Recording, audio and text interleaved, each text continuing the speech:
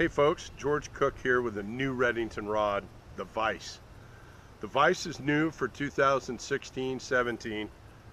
Price point rod at 199 fast action, sure to be a hit amongst the University of Oregon fans because we are duck colored here, by God. Sorry Corvallis, we haven't built an orange one for you yet.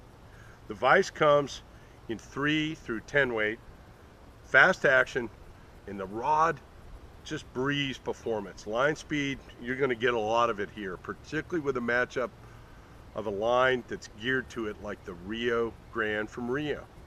Excellent line choice. It brings out performance and value that meet on the curve.